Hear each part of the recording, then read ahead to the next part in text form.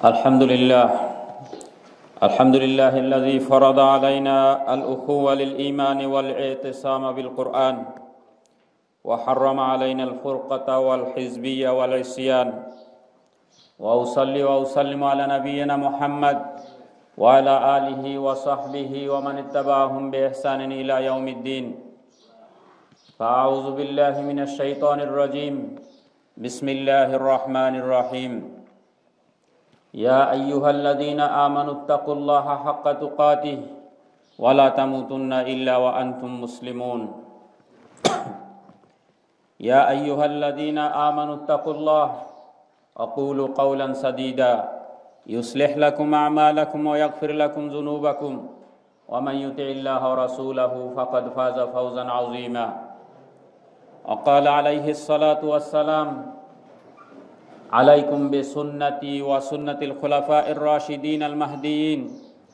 عدوا عليها بالنواجز وإياكم ومحدثات الأمور. فإن كل محدثة بدعة وكل بدعة ضلالة وكل ضلالة في النار. عباد الله أوصيكم ونفسي بتقوى الله. فهي وصية الله سبحانه وتعالى للأولين والآخرين. সকল প্রশংসা আল্লাহ সুবহান হুয়া তালার দরবারে যার অসীম কৃপা এবং করুণায়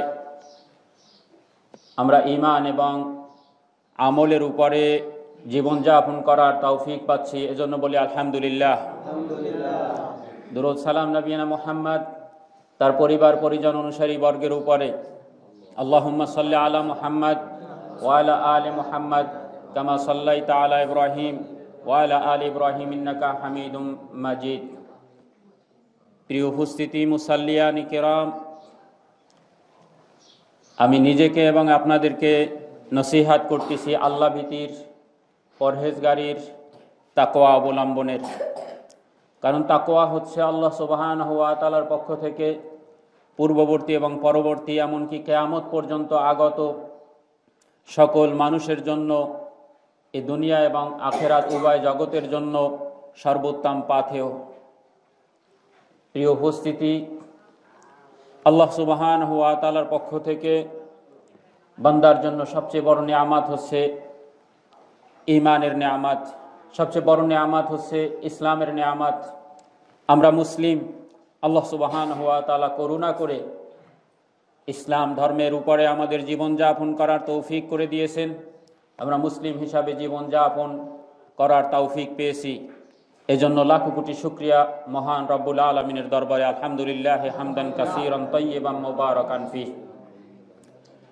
কিন্তু দুর্ভাগ্যজনকভাবে আজকে আমরা গোটা বিশ্বব্যাপী দেখছি মুসলিম উম্মা সারা দুনিয়াতে এখানে সেখানে বিভিন্ন প্রান্তে, বিভিন্ন দেশে বিভিন্নভাবে নির্যাতন, নিপীড়ন, অত্যাচার অবিচারের সম্মুখীন হয়ে আসতেছে। কেন?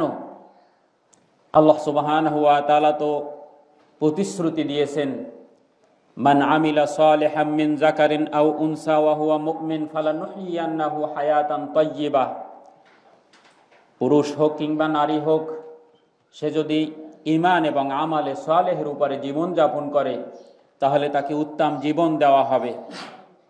তাকে পবিত্র জীবন দেওয়া হবে, তাকে সুখময় এক জীবন দান করা হবে। তাহলে আজকে কেন সারা দুনিয়াব্যাপী মুসলিম উম্মা নির্যাতিত এবং নিপীড়িত? এর কারণ কি? এর উৎস কি? কেনই বা দিন দিন পরিস্থিতি ভয়ঙ্কর থেকে ভয়ঙ্কর অবস্থার দিকে রূপ নিচ্ছে? আজকে আমরা সে বিষয়ে কথা বলব। আজকে কথা বলব মুসলিম উম্মার ঐক্যবদ্ধ থাকার সুফল নিয়ে কথা বলব মুসলিম উম্মার ভিতরে যে প্রতিনিয়ত দলাদলি গ্রুপিং ফেরকাবাজি, বিচ্ছিন্নতার বিস্তার ঘটতেছে, এর ভয়াবহ পরিণাম নিয়ে। জি, বলতেছিলাম প্রিয় উপস্থিতি, আল্লাহ সুবহান আপনাকে, আমাকে এক ইসলাম, এক ইমান এক কালেমা আত্মయ్যবার উপরে ঐক্যবদ্ধ থাকার জন্য আদেশ করেছেন। কিন্তু দুর্ভাগ্যজনক হলেও বাস্তব হচ্ছে, আল্লাহ সুবাহান হুয়া তালা আমাদের জন্য একটি জিনিসকে ফরজ করে দিয়েছেন। সেই ফর্জ বিষয়টিকে আমরা আজকে যেন হারাম করে নিয়েছি। আর আল্লাহ সুবাহান হুয়া তালা একটি জিনিসকে আমাদের জন্য হারাম করে দিয়েছেন। বাস্তবতা মনে হচ্ছে যেন সেই হারাম জিনিসটি আমাদের জন্য এখন ফরজ বিষয় হয়ে দাঁড়িয়েছে। ইন্না আলিল্লাহ ইন্না ইলাইহে রাজিউন। জি। আল্লাহ সুবাহান হুয়া তালা আমাদের জন্য ফরজ করে দিয়েছিলেন ঐক্যবদ্ধ জীবন যাপন পরস্পরে পরস্পরের প্রতি ভালোবাসা, সহনশীলতা, সহানুভূতি প্রকাশ করে একটি সুন্দর জীবন যাপনের মধ্যে আমরা এ দুনিয়াতে বসবাস করব। কিন্তু দুর্ভাগ্য, আজকে প্রতি ব্যক্তি যেন এক একটি গ্রুপ, প্রতি ব্যক্তি যেন এক একটি দল, প্রতি ব্যক্তি যেন এক একটি গোষ্ঠী, অথচ আল্লাহ সুবাহান হুয়া তালা আমাদের জন্য এই বিচ্ছিন্নভাবে জীবনযাপন, এভাবে গ্রুপিংয়ের মধ্যে জীবনযাপন, দলাদলির মধ্যে জীবনযাপন, এটাকে হারাম করে দিয়েছেন। এমনকি শয়তানের চক্রান্তে পড়ে আজকে আমরা বিভিন্ন সহি নাম দিয়েও এই গ্রুপিং করার ক্ষেত্রে, এই দলাদলি করার ক্ষেত্রে, এই বিচ্ছিন্ন হওয়ার ক্ষেত্রে পিছুপা হয়ে আমরা নেই। দুর্ভাগ্য আমাদের জন্য যে প্রিয় উপস্থিতি আল্লাহ সুবাহান হুয়া তালা আমাদেরকে তার দাসত্বের জন্য সৃষ্টি করেছেন। সেই দাসত্বের মধ্যে অন্যতম দুটি দাসত্ব হচ্ছে অন্তরের দুটি দাসত্ব, অর্থাৎ অন্তরের দুটি কর্ম। তার প্রথমটি হচ্ছে ঐক্যবদ্ধ জীবনযাপন। ঐক্যবদ্ধ জীবনযাপন একতার মানে এই নয় যে আমরা সবাই এক প্ল্যাটফর্মে এক জায়গায় অবস্থান করব, কারও সাথে কারও কোনো ধরনের মতের পার্থক্য বা মতের ক্ষেত্রে কোনো ধরনের মতানৈক্য তৈরি হবে না। ঐক্যবদ্ধ থাকা মানে হচ্ছে একের প্রতি আরেকজনের ভালোবাসা থাকবে, একের প্রতি আরেকজনের শ্রদ্ধাবোধ থাকবে, একের প্রতি আরেকজনের হিংসা থাকবে না, একের প্রতি আরেকজনের প্রতিশোধ পরায়ণতা থাকবে না। আমাদের ভিতরে শত মতভেদ, মত পার্থক্য থাকতে পারে, কিন্তু এই মতভেদ, মত পার্থক্য কখনোই গ্রুপিং, দলাদলি, বিচ্ছিন্নতা বা ফেরকাবাজির দিকে নিতে পারে না। যদি ফেরকাবাজির দিকে আমাদের এই মতভেদ মত পার্থক্য নিয়ে যায়, তাহলে আমরা নিঃসন্দেহে আল্লাহ সুবাহান হুয়া তালার অবাধ্য বান্দা। আমাদের ইমান নিয়ে প্রশ্ন উঠবে যে প্রকৃতার্থে আমরা ইমানদার কিনা। কারণ একজন মুমিন, তার মুমিন ভাইয়ের সাথে কখনোই সে হিংসায় লিপ্ত হতে পারে না, প্রতিশোধ পরায়ণ হতে পারে না, তার উপরে অত্যাচার করতে পারে না, তার উপরে অবিচার করতে পারে না, তাকে শত্রু ভাবতে পারে না। সর্ব অবস্থা একজন মুসলিম, তার মুসলিম ভাইয়ের সাথে সে ভালোবাসার বন্ধনে আবদ্ধ থাকবে। শত মত মত পার্থক্য এটা থাকতেই পারে, কিন্তু কখনোই কখনোই এই মত, মতভেদ, মত পার্থক্য আমাদেরকে কোনো আলাদা আলাদা বিচ্ছিন্নভাবে কোনো গ্রুপ তৈরি করার পরামর্শ দিতে পারে না। কোনো বিচ্ছিন্ন গোষ্ঠী তৈরি করার জন্য আমাদেরকে উৎসাহ দিতে পারে না। আজকে জুমাবার বাংলাদেশের প্রতিটি মসজিদে মসজিদে সমস্ত মুসলিম দল, মত নির্বিশেষে এক জায়গায়, এক প্ল্যাটফর্মে ঐক্যবদ্ধ হয়েছে কি হয়নি? নিঃসন্দেহ হয়েছে। আজকে মসজিদে যেভাবে আমরা দল, মত নির্বিশেষে এক মুসলিম পরিচয় ঐক্যবদ্ধ হচ্ছি প্রতিনিয়ত, ঠিক এভাবে যেদিনকার আমরা ময়দানেও রাস্তায়, ঘাটে, পথে প্রান্তরে, হাটে, বাজারে, স্কুলে, কলেজে, অফিসে, আদালতে সর্বস্তরে যেদিনকার এভাবে দল মত নির্বিশেষে এক প্ল্যাটফর্মে, এক জায়গায় হকের পক্ষে অবস্থান নিতে পারব, সেদিনকারই আমি সত্যিকারের মুসলিম দাবি করতে পারি। আর যখন এটা আমরা করতে পারব, সেদিনকার আর মুসলমানদের এই অধপতনের যে গান, এটা আর শুনতে হবে না। মুসলমানদের অধপতনের এই যে প্রতিনিয়ত দুঃসংবাদ, এটা আমাদের কানে আর ভেসে আসবে না। যে প্রিয় উপস্থিতি, বলতেছিলাম আল্লাহ সুবাহান হুয়া তালা আমাদের জন্য দুটি অন্তরের কর্ম দিয়েছেন। তার প্রথমটি প্রথমটি হচ্ছে এক মুসলিম আর এক মুসলিমকে ভাই মনে করবে। এক মুসলিম আর এক মুসলিমের প্রতি ভালোবাসা সবসময় ব্যক্ত করবে। কথায়, কাজে বিভিন্ন মত থাকতেই পারে, কিন্তু এই মত কখনোই তাদেরকে মধ্যে শত্রুতার বিস্তার ঘটাবে না। মত, মতভেদ মত পার্থক্য এর উৎস হচ্ছে দলিল। এর উৎস হচ্ছে সুস্থ বিবেক। এর উৎস হচ্ছে প্রমাণ। আর যদি দলাদলি, শত্রুতা, ভেদাভেদ, বিচ্ছিন্নতা গ্রুপিং তৈরি করে, তাহলে সেটা হচ্ছে মানুষের প্রবৃত্তি। সেটা হচ্ছে হিংসা, সেটা হচ্ছে প্রতিশোধ পরায়ণতা। ঠিক একইভাবে কারও ভিতরে যদি এখলাসের অভাব থাকে, তখনই এই মত, মতভেদ মত পার্থক্য মতনৈক্য, এটা গ্রুপিংয়ের দিকে নিয়ে যায়, দলাদলির দিকে নিয়ে যায়, প্রতিশোধ পরায়ণতার দিকে নিয়ে যায়। আল্লাহ তালা এই যে ঐক্যবদ্ধ থাকার যে মানসিকতা, এই যে মানসিকতা, অন্তরের ভিতরে এই ধরনের মানসিকতা লালন, এটাকে এবাদাত হিসাবে আপনার আমার জন্য ফর্স করে দিয়েছেন সুবাহান আল্লাহ ঠিক এর বিপরীত জিনিসটা, অর্থাৎ অন্তরের ভিতরে মুসলিম ভাইয়ের প্রতি হিংসা লালন করা, মুসলিম ভাইকে শত্রু মনে করা, মুসলিম ভাইকে ভিন্ন দলের, ভিন্ন গ্রুপের, ভিন্ন রাজনৈতিক গোষ্ঠীর মনে করা, এই ধরনের যখন মনে করবে, তখন এটাই হচ্ছে আল্লাহ সুবাহানুয়া তালা একটি জিনিস যে হারাম করেছেন, সেই হারাম অন্তরের কর্ম। অথচ আজকে আমাদের সমাজে যারা এই কথাগুলো বলব, তারা নিজেরাই এই হারামের সাথে জড়িত। প্রত্যেক, এমনকি যিনি কোরআন, হাদিসের এমনকি ধারক বাহক তিনি পর্যন্ত এই ধরনের হারাম জিনিস তিনি লালন করতেছেন, হারাম জিনিস ধারণ করতেছেন। তার পরিচয় হচ্ছে এই হারামের ব্যানারে। আল্লাহ সুবাহন তালা আমাদেরকে ক্ষমা করেন। এই ধরনের হারামের ভিতরে আমরা মনের অজান্তি জড়িয়ে পড়তেছি সকাল সন্ধ্যা। আল্লাহ সুবাহন তালা আমাদের বোঝার তৌফিক দান করেন। মতভেদ মর্ত পার্থক্য এটা হচ্ছে মানবিক বিষয়। এটা হচ্ছে স্বভাব বিষয় যে আমি একটি জিনিস পছন্দ করি আপনি ওই জিনিস পছন্দ করেন না স্বাভাবিক। কিন্তু এইটা কখনো মুসলিম উম্মার ভিতরে বিভক্তি তৈরি করতে পারে না। যদি এটা তৈরি হয়, তাহলে আপনি আল্লাহ সুবাহান হুয়া তালার যে ঐক্যবদ্ধ থাকার মানসিকতা, ঐক্যবদ্ধ থাকার যে নির্দেশ, সেই নির্দেশকে অমান্য করলেন। আর আল্লাহ সুবাহান হুয়া তালা বিচ্ছিন্ন থাকা, বিভক্ত থাকা, একা একা চলার যে নীতিকে হারাম করে দিয়েছেন, সেই নীতির আপনি চর্চা করে আল্লাহর নাফরমান বান্দা হিসাবে জমিনে বিচারণ করতেছেন। আল্লাহ সুবাহান তালা আমাদেরকে ক্ষমা করেন। এ ধরনের যে ভয়ঙ্কর দুটি অপরাধ, এই অপরাধ থেকে আমাদের বেঁচে থাকার আল্লাহ তৌফিক দান করেন। এমনকি সহিনিয়াতেও এটা করা যাবে না। কেউ যদি বিসমিল্লা বলে যদি বিষ পান করে, এই বিষের কার্যকারিতা বিসমিল্লা বলার কারণে এটা কি অফ থাকবে? কখনোই না।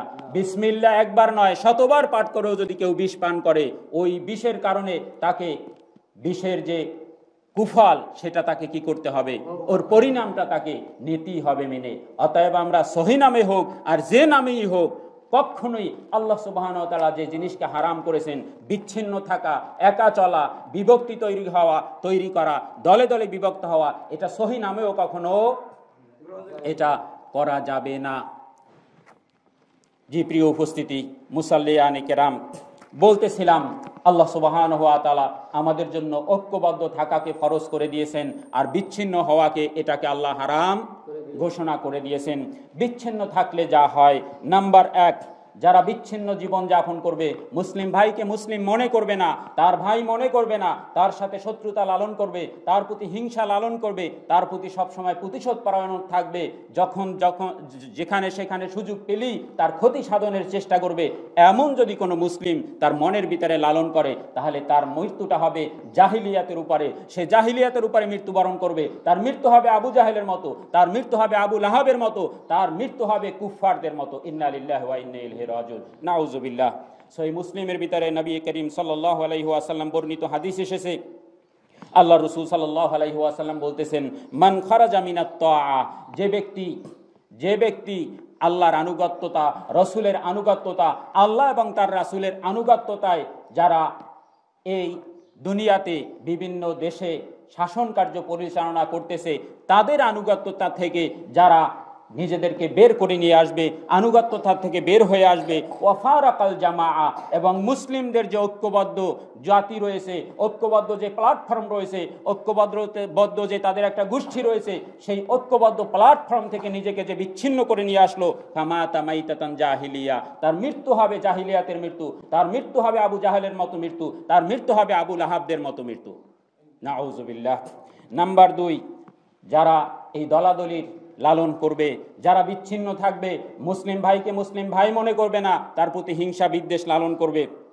তাকে পরকালে ভয়াবহ শাস্তির মুখোমুখি হতে হবে। সে আল্লাহর নাফরমান বান্দা, আল্লাহর অবাধ্য বান্দা, আল্লাহ সুবাহান তালার নির্দেশ উপেক্ষা করে সেই এই বিচ্ছিন্নতা, এই দলাদলি, এই বিভক্তির বিতারে সে নিজেকে আবদ্ধ রাখছে।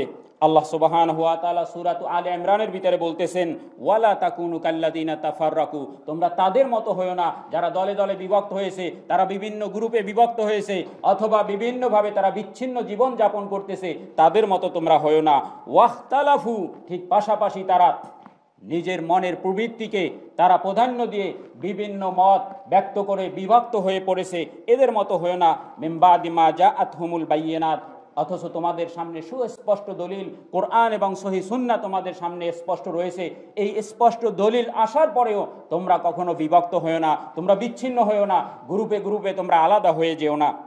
যদি এমনটি হও, ওয়া উলা ইকালাহুম আজাবুন আজিম তাদের জন্য ছোটখাটো কোনো শাস্তি নয় আজাবুন আজিম ভয়ঙ্কর শাস্তি, মহা বিপদ সংকেত তাদের জন্য পরকালে অপেক্ষা করতেছে। নাম্বার তিন, যারা এভাবে দলে দলে বিভক্ত হবে। মুসলিম উম্মার ভিতরে বিভক্তি লালন করবে, বিভক্তির প্র্যাকটিস করবে, বিভক্তির চর্চা করবে।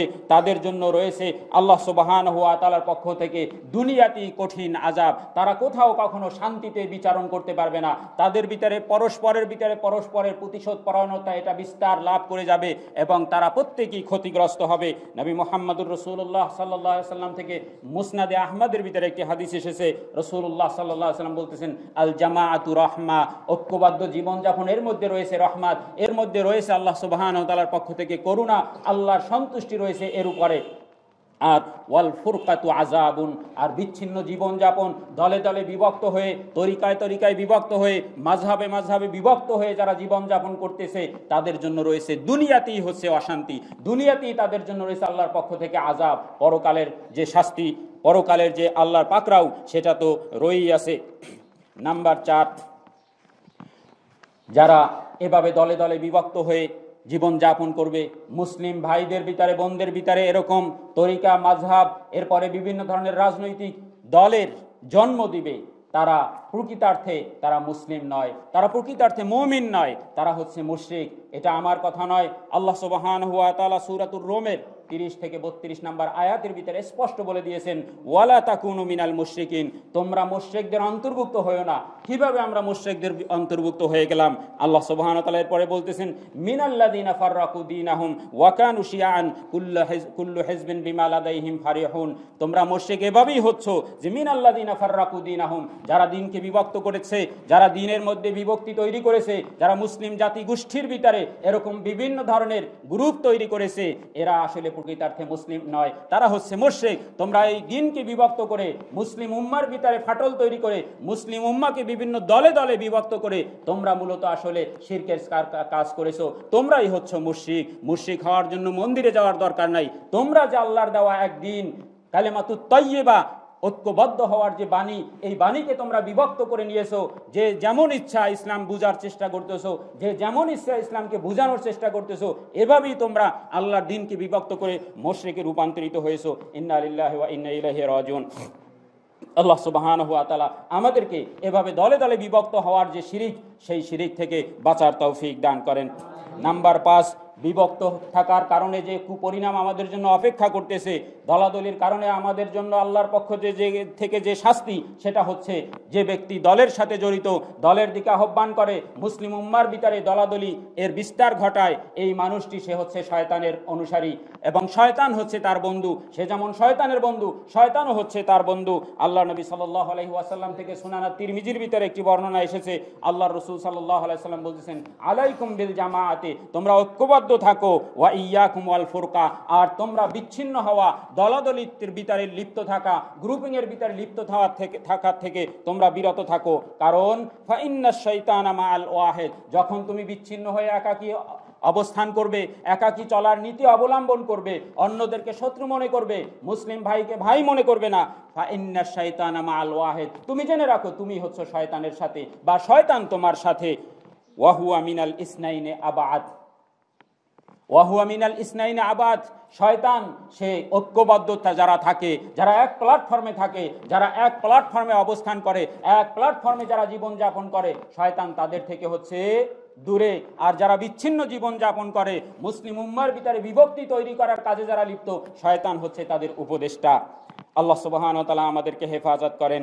নাম্বার ছয়, যারা বিচ্ছিন্ন জীবন যাপন করে, দলাদলির জীবন যাপন যারা করে আল্লাহ সুবাহান হুয়া তালার নির্দেশকে তারা উপেক্ষা করে। কারণ আল্লাহ সুবাহান হুয়া তালা সরাসরি কোরআনুল কারিমের একাধিক আয়াতের ভিতরে বলেছেন যে, ওয়ালা তাফার রাকু আর সুরা, সুরার ভিতরে আল্লাহ বলছেন, ওয়ালা তাতাফার রাকু আল্লাহ প্রথমে বলতেছেন সুরা আলে ইমরানের ভিতরে ওয়াতাসিমু বেহাবলিল্লাহ তোমরা ঐক্যবদ্ধ জীবন যাপন করো তোমরা এক কোরআনের রজ্জুকে আঁকড়ে ধরো তোমরা এক কালেমার পতাকা তলে তোমরা ঐক্যবদ্ধ থাকো কোনো গ্রুপ তৈরি করো না কোনো মাঝহাব তৈরি করো না কোনো তরিকা তৈরি করো না তোমরা কোনো ফেরকাবাজির ভিতরে জড়িয়ে পড়ো না। এই কথা বলার সাথে সাথে আল্লাহ সুবাহ বলছেন, ওয়ালা তাফার রাকু ঐক্যবদ্ধ থাকার কথা বললেই যথেষ্ট ছিল।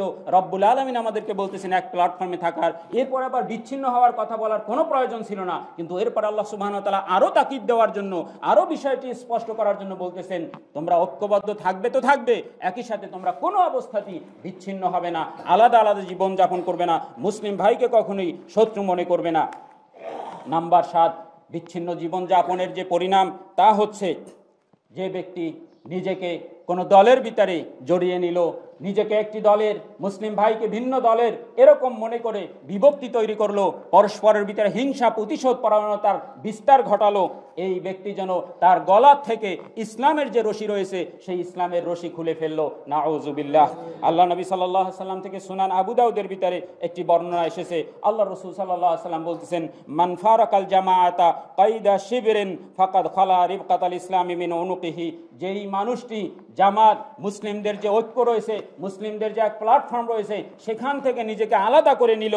সে ব্যক্তি ফাকাদ খলা রিবকাত আল মেন অনুকিহি সেজন্য তার গলার থেকে ইসলামের যে রশি রয়েছে, ইসলামের যে রজ্জু রয়েছে, ইসলামের যে মালা রয়েছে, সেই মালা সে খুলে ছিঁড়ে ফেলে দিল। ইন্না আলিল্লাহ ইন্না ইলাইহি নাম্বার আট যারা এইভাবে বিচ্ছিন্ন জীবন যাপন করে, দলাদলির ভিতরে যারা ডুবে আছে মুসলিম ভাইকে মুসলিম ভাই মনে করে না, তার প্রতি হিংসা, প্রতিশোধ পরায়ণতা লালন করে, এই মানুষটির সাথে নবী মোহাম্মদুর রসুল্লাহ সাল্লাহ আলাইহাসাল্লামের কোনো সম্পর্ক নেই।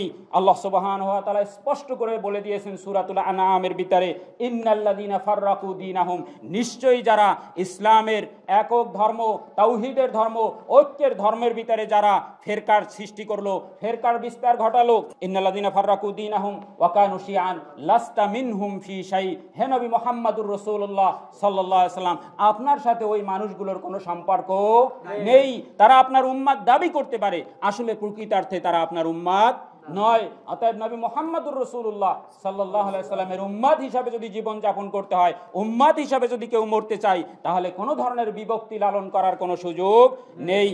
নাম্বার নয় আল্লাহ রসুল সাল্লাহ আলাইহাসাল্লাম বলতেছেন, যারা এই বিভক্তির ভিতরে রয়েছে, দলাদলির ভিতরে রয়েছে, গ্রুপিংয়ের ভিতরে রয়েছে, এদের জন্য জাহান নামের শাস্তি অপেক্ষা করতেছে। আল্লাহ নবী সাল্লাহ আলাইসাল্লাম বলতেছেন যে ইয়াহুদিরা তারা একাত্তরটি দলে বিভক্ত হয়েছে, খ্রিস্টানরা বাহাত্তরটি দলে বিভক্ত হয়েছে, আর এই উম্মাতের মানুষগুলো বিভক্ত হবে তেহাত্তরটি দলে। এর মধ্যে কুল্লুহুম ফিন্নার ইল্লা ওয়াহেদা। একটি দল, একটি গোষ্ঠী, একটি জাতি, তারাই শুধুমাত্র জান্নাতে যাবে। বাকি বাহাত্তরটি গোষ্ঠী, বাহাত্তরটি ফেরকা, বাহাত্তরটি দল, এরা কোথায় যাবে? এদের ঠিকানা হচ্ছে জাহান্নাম। তারা যাবে জান্নাতে।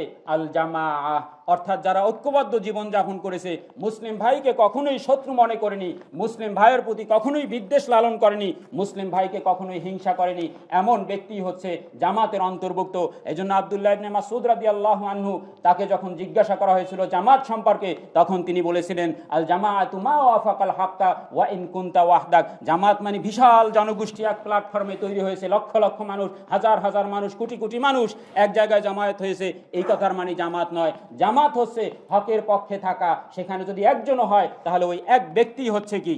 এক একটি জামাত। সুবাহান আল্লাহ হামদি সুবাহান আল্লাহ আজিম নাম্বার দশ, যারা এভাবে জামাত বিচ্ছিন্ন জীবন যাপন করবে, দলাদলির ভিতরে যারা জীবন যাপন করবে, যারা দলে দলে বিভক্ত হবে, প্রয়োজনে ইসলাম তাদেরকে হত্যা করার নির্দেশ দিয়েছে। আল্লাহ নবী সাল্লাহ সাল্লাম থেকে সহি মুসলিমের ভিতরে একটি বর্ণনা এসেছে। আল্লাহ রসুল সাল্লাহ সাল্লাম বলতেছেন, ইন্নাহু সাতাকুন হানাতুন ওয়াহানাতুন ফামান আরাদা ইউফাররিকা আমরা হাজিল উম্মা ওয়াহিয়া জামি, ফাদরিবুহু বিসাইফিকা ইনাম্মান কান। এই গোষ্ঠী, এই উম্মা ঐক্যবদ্ধ থাকার মধ্যে কেউ যদি এসে সেই ঐক্যের ভিতরে ফাটল ধরিয়ে দেয়, সেই ঐক্য যদি বিনষ্ট করার অপচেষ্টা করে, ফদরিবু অনুকাহু তাহলে তার গর্দানকে দ্বিখণ্ডিত করে দাও, তার গর্দান আলাদা করে দাও, সে যেই হোক না কেন। আল্লাহ সুবাহান হুয়া তালা আমাদেরকে সব ধরনের বিভক্তি বিভক্তি থেকে বেঁচে থাকার তৌফিক দান করেন। নাম্বার এগারো যারা এই দলাদলি এবং বিভক্তির ভিতরে ডুবে আছে, এরা প্রকৃতার্থে ইমানদার নয়। তাদের ভিতরে ইমানই ভ্রাতৃত্ব বলতে কিছু নেই। তাদের ইমান আসলে মূলত নেই। কারণ আল্লাহ সুবাহান হুয়া তালা সুরাতুত তওবার একাত্তর নাম্বার আয়াতের ভিতরে বলতেছেন, ওয়াল মুমিনুনা ওয়াল মুমিনাতু বাদুহুম আউলিয়া উবাদ একজন মোমেন একজন মোমেন নর, একজন মোমেন নারী, তারা একে অপরের হচ্ছে কি? বন্ধু, ঠিক অন্য আয়াতের ভিতরে আল্লাহ তাআলা বলছেন, ইন্নামাল মুমিনুনা ইখওয়া যে মোমেনরা একে অপরের ভাই, অতএব একজন মোমেন দাবি করে, সে যদি তার অন্য মোমেন ভাইকে ভাই মনে করতে না পারে, অন্য মোমেন বন্ধুকে বন্ধু মনে না করতে পারে, তাহলে মনে করতে হবে সমস্যা কোন জায়গায়? সমস্যা হচ্ছে ইমানে অতএব যদি প্রকৃত ইমানদার হিসাবে দুনিয়াতে বসবাস করতে চাই, তাহলে মুসলিম ভাইয়ের সাথে কোনো অবস্থাতেই শত্রুতা, হিংসা, বিদ্বেষ, প্রতিশোধ, পরায়ণতা এটা লালনের কোনো সুযোগ নেই। ঠিক পাশাপাশি জামাতবদ্ধ জীবনযাপনের যে সুফল, সেটা হচ্ছে সর্বপ্রথম আল্লাহ এবং তার রাসুলের কঠোর নির্দেশ হচ্ছে ঐক্যবদ্ধ থাকার নির্দেশ।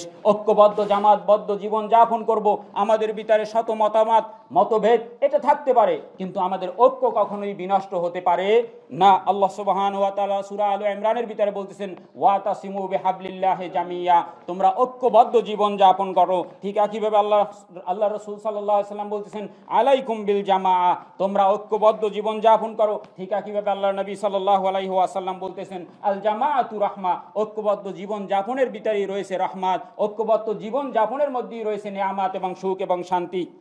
নাম্বার দুই, ঐক্যবদ্ধ জীবন যাপনের প্রতি আল্লাহ সুবাহন তালা শুধু এই উম্মাদকে নয়, পূর্ববর্তী সকল উম্মাদদেরকে এই একই নির্দেশ দিয়েছেন। আল্লাহ সুবাহান তালা সুরা সুরার ভিতরে বলতেছেন, সারা আলাকুম মিনাদ্দিন মা ওয়াসা বিহি নুহা ওয়াল্লাদি আওহাইনা ইলাইকা ওয়ামা ওয়াসাইনা বিহি ইব্রাহিম ওয়া মুসা ওয়া ঈসা আন আকিমুদ্দিন ওয়ালা তাতাফাররাকু ফি। আমি শরিয়াত প্রবর্তন করেছি। আমি শরিয়াত হিসাবে এ কথা নির্ধারণ করে দিয়েছি। পূর্ববর্তী সেই নবী মুসা আলাইহাসাল্লাম ঈসা আলাইহাসাল্লাম আপনি নবী মোহাম্মদুর রসুল্লাহ সাল্লাহ সাল্লাম প্রত্যেক নবীকে এ কথা, এ উপদেশ, এ নির্দেশ আমি দিয়েছি। কি নির্দেশ দিয়েছি? আন আকিমুদ্দিন, যে তোমরা ঐক্যবদ্ধ থাকবে। কোথায় পেলাম আন আকিমুদ্দিন? এ কথার মানে হচ্ছে ঐক্যবদ্ধ থাকা। এ সম্পর্কে সর্বশ্রেষ্ঠ মুফাসসির, রাইসুল মুফাসসিরিন আব্দুল্লাহ ইবনে আব্বাস রাদিয়াল্লাহু আনহু আকিমুদ্দিন, তোমরা দিন প্রতিষ্ঠা করো। এ কথার অর্থ বলতে গিয়ে বলেছেন, আনিত্তাফিকু ফিদ্দিন, দিনের যে কোনো ব্যাপারে তোমরা ঐক্যবদ্ধ থাকো। এটা হচ্ছে আব্দুল্লাহ ইবনে আব্বাস রাদিয়াল্লাহু আনহুর তাফসীর। ঠিক একই সাথে ওয়ালা তাতাফাররাকু ফি, এ কথার অর্থ ব্যক্ত করতে গিয়ে আব্দুল্লাহ ইবনে আব্বাস রাদিয়াল্লাহু আনহু বলছেন, লা তাখতালিফু ফিদ্দিন, দিনের কোনো ব্যাপারে তোমরা ইখতিলাফ করো না। ঠিক একই সাথে ইমাম তবারি রাহেমাহুল্লাহ বলতেছেন, যে আল্লাহ সুবহানাহু ওয়া তাআলা পূর্ববর্তী সকল নবী এবং রাসূলকে বলেছেন আমার আহুম বিল ইতিলাফি ওয়াল জামাআ ঐক্যবদ্ধ থাকার জন্য, বিচ্ছিন্ন না হওয়ার জন্য, ঐক্যবদ্ধ জীবন যাপনের জন্য পূর্ববর্তী সকল নবী এবং রাসুলদেরকে আল্লাহ সুবহানাহু ওয়া তাআলা নির্দেশ করেছেন। ঠিক একইভাবে কঠিনভাবে তাদেরকে নাহাহুম আনিল ইফতিরাকে ওয়াখতিলাফে তাদেরকে প্রত্যেকই কঠিনভাবে নিষেধ করা হয়েছে যে তোমরা যাতে কোনোভাবে দলে দলে বিভক্ত না হও, দলে দলে গ্রুপে গ্রুপে বিচ্ছিন্নভাবে জীবনযাপন না করো। যে প্রিয় উপস্থিতি, আজকে আমরা দেখতেছি প্রতিবেশী দেশ, সে দেশে মুসলিমরা নির্যাতিত, নিপীড়িত, তাদের উপরে পৃথিবীর বর্বর নির্যাতনের স্টিম রোলার তাদের উপরে চালিয়ে আসা হচ্ছে। অথচ যারা আমরা ইতিহাস জানি, তারা জানি যে এই দিল্লি, এই শহর আবাদ হয়েছে মুসলমানদের হাতে। হাজার হাজার বছর ধরে মুসলিমরাই এই দেশকে, এই শহরগুলোকে আবাদ করেছে। আজকে যারা হিন্দু এবং শিখ রয়েছে, মুসলমানদের উপরে অমানবিক নির্যাতন চালাচ্ছে, এই হিন্দু এবং শিখরা হচ্ছে দখলদারি। এরা হচ্ছে দখলদারি, এদের কোনো অবদান নেই এই সমস্ত শহর গঠনের ক্ষেত্রে। অথচ তারা আজকে এই হাজার হাজার বছর ধরে যারা এই দেশে বসবাস করে আসতেছে, তাদের উপরে কঠিনভাবে নির্যাতন এবং নিপীড়ন চালাচ্ছে। আল্লাহ সুবহান হুয়া তালা এই সমস্ত ভাইদের উপরে রহম করেন, তাদের সবর করার তৌফিক দান করেন। তো বলতেছিলাম যারা বিচ্ছিন্ন জীবন যাপন করবে, তারা জান্নাতে যেতে পারবে না। নবী মোহাম্মদুর রসুল্লাহ সাল্লাহ আলাইহাসাল্লাম বলতেছেন, মান আরাদ আল জান্নাহ, মান আরাদা বহুহাতুল জান্না যে ব্যক্তি জান্নাতের সুখ চায়, জান্নাতের ঘ্রাণ চায়, জান্নাতের স্বাচ্ছন্দ্য চায়, ফালিয়াল জিমিল জামা আহ সে যেন ঐক্যবদ্ধ জীবন যাপন করে, মুসলিম ভাইয়ের প্রতি কোনো ধরনের হিংসা বিদ্বেষ সে লালন না করে। জি, বলতেছিলাম যে আজকে সারা দুনিয়াতে মুসলিমরা নির্যাতিত এবং নিপীড়িত। এর কারণ কি? কেন এভাবে হচ্ছে? এর কয়েকটি কারণ রয়েছে। এর অন্যতম কারণ হচ্ছে যে আজকে আমাদের ভিতরে আমাদের ভিতরে ধর্মকর্মের কোনো ভালাই নেই। আল্লাহ নবী সাল্লাহ আলাইহাসাল্লাম এর দুটি হাদিস বলব, যে দুটি হাদিসের ভিতরে তিনটি কারণ উল্লেখ করা হয়েছে। এছাড়া আল্লাহ সুবাহান হুয়া তালা কোরআনুল কারিমের ভিতরে, একটি আয়াতে কারিমার ভিতরে আজকে মুসলমানদের এই অধপতনের কথা কঠিনভাবে তুলে ধরেছেন। এর মধ্যে সুরা আনামের ভিতরে আল্লাহ সুবাহান তালা বলতেছেন যে আল্লাদিনা আমানু হুম মুহতাদুন। মুসলিম উম্মা যখন তাওহিদ ছেড়ে দিবে, শেরকের সাথে জড়িয়ে পড়বে, শেরকের মতো জুলুমে লিপ্ত হবে, তখন আল্লাহ সুবাহান তালা ওই জাতিগোষ্ঠীর উপর থেকে নিরাপত্তা তিনি উঠিয়ে নেবেন।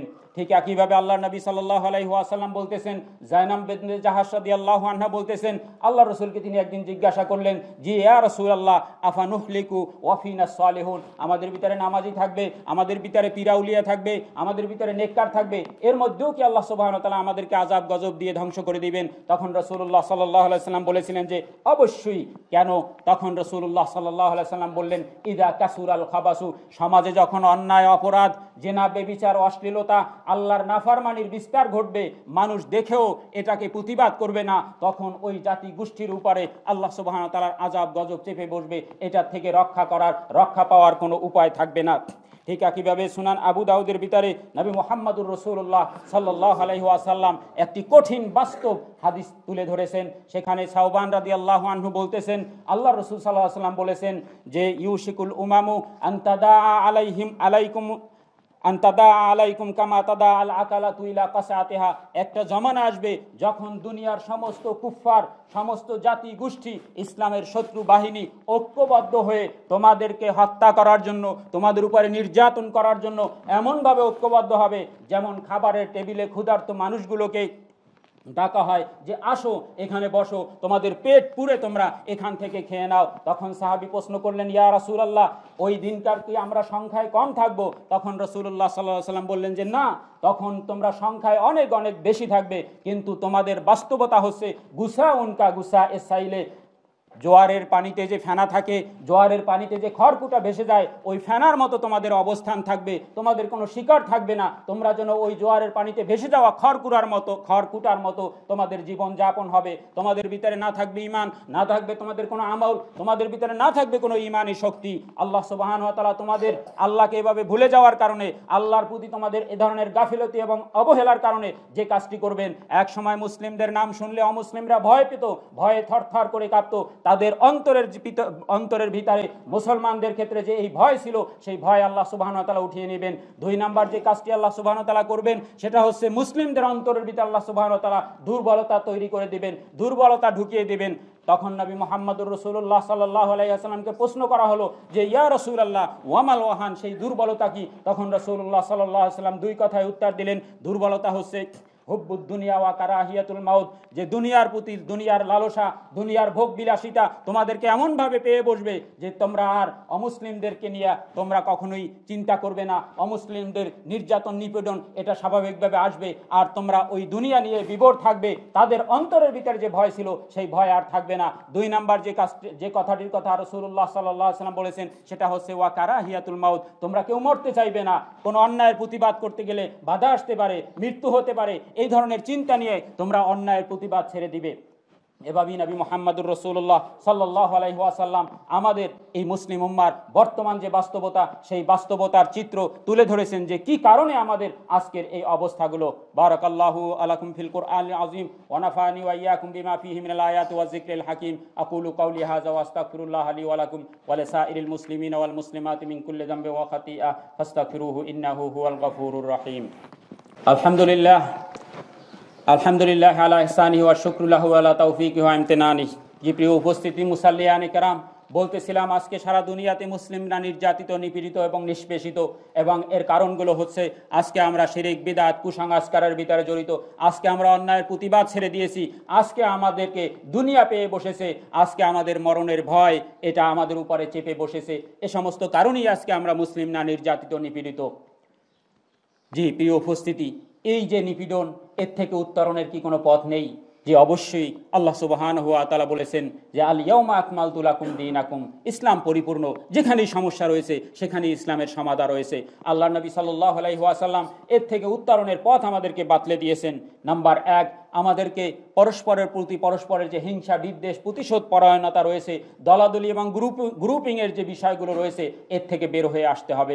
আল্লাহ নবী সাল্লাহ আলাইহাসাল্লাম বলেছেন, দাব্বা ইলাইকুম দা উল উমামে কবলাকুম পূর্ববর্তী জাতি গোষ্ঠীর থেকে তোমাদের মাঝে যে দুটি রোগ বিস্তার লাভ করেছে, তা হচ্ছে দুটি। এর নাম্বার এক নাম্বার এক হচ্ছে আল হাসাদ হিংসা। নাম্বার দুই হচ্ছে আল বাগদা ঘৃণা, বিদ্বেষ। এই দুটো জিনিস যদি তোমরা তোমাদের অন্তর থেকে দূর করতে পারো, তাহলে আজকের এই যে অবস্থা, এই অবস্থার থেকে তোমরা উত্তরণ পাবে, এর থেকে বের হয়ে আসতে পারবে। নাম্বার দুই আমাদেরকে যে কাজটি করতে হবে, সেটা হচ্ছে সব ধরনের শিরিক, কুসংস্কার, আল্লাহর নাফারমানিমূলক যে কর্মকাণ্ড রয়েছে, এর থেকে বের হয়ে আসতে হবে। সমাজে যত ধরনের অবিচার, অনাচার রয়েছে, অশ্লীলতা রয়েছে, নাফারমানি রয়েছে, এর প্রতিবাদ করতে হবে সঙ্গে সঙ্গে। যার যেখানে যে অবস্থায় সাধ্য রয়েছে, সেই অবস্থায় সেখানে বসে এর প্রতিবাদ করতে হবে। নতুবা এই যে মুসিবাদ এই মুসিবাদ প্রতিবেশী দেশ থেকে এই দেশে আসতে বেশি সময়ের দরকার নেই। বেশি দিন অপেক্ষা করতে হবে না। অপেক্ষায় থাকতে পারেন যে কোনো মুহূর্তে আল্লাহর এই আসমানি গজব এটা মোদী সরকারের গজব নয় এটা আল্লাহর পক্ষ থেকে মুসলিম উম্মার যে অধপতন সেই অধপতনের জন্য আল্লাহর পক্ষ থেকে এক গজব। আল্লাহ সুবাহ তালা আমাদেরকে এই গজব থেকে রক্ষা করেন। সর্বশেষ যে কাজটি করলে এতক্ষণ বলতেছিলাম যে কাজগুলো ছেড়ে দিতে হবে সব ধরনের নাফারমানি হিংসা বিদ্বেষ প্রতিশোধ পরায়ণতা মুসলিম ভাইকে শত্রু মনে করার এই মানসিকতা এগুলো ছেড়ে দেওয়ার। আর যেটি আমাদেরকে কর্ম হিসাবে ধরতে হবে সেটা হচ্ছে নবী মোহাম্মদুর রসুল্লাহ সাল্লাহ সাল্লাম বলতেছেন যে লাতাত খুলুল জান্নাতা হাত্তা তুমিনু, জান্নাতে প্রবেশ করতে পারবে না যদি ইমানদার না হও। ওয়ালা তুমিনু হাত্তা তাহাব্বু, আর ইমানদার হতে পারবে না যতক্ষণ না একে অপারকে ভালোবাসবে।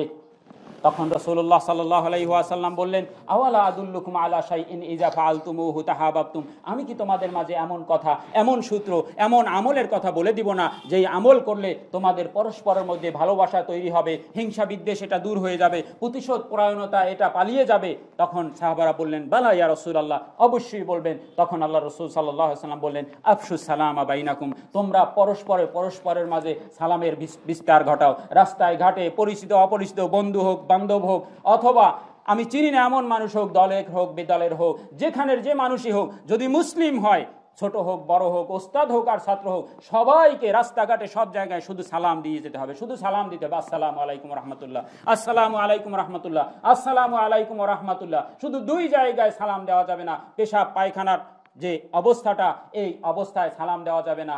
আর দ্বিতীয় হচ্ছে, অমুসলিমদের সালাম দেওয়া যাবে না। এছাড়া যত জায়গা রয়েছে, সব জায়গায় সালামের বিস্তার যদি আমি ঘটাতে পারি, তাহলে আমাদের পরস্পরের মাঝে পরস্পরের যে শত্রুতা রয়েছে, হিংসা রয়েছে, বিদ্বেষ রয়েছে, এটা ইনশাল্লাহ দূর হয়ে যাবে। এবাদল্লাহ ইন্নাল্লাহ সুবাহান হুয়া তালা আমার আনা বে আমরিন আজিম فقد بدا به نفسه. فقال سبحانه وتعالى إن الله ملائكته يصلون على النبي. يا أيها الذين آمنوا صلوا عليه وسلموا تسليما. اللهم صل على محمد وعلى آل محمد كما صليت على إبراهيم وعلى آل إبراهيم إنك حميد مجيد.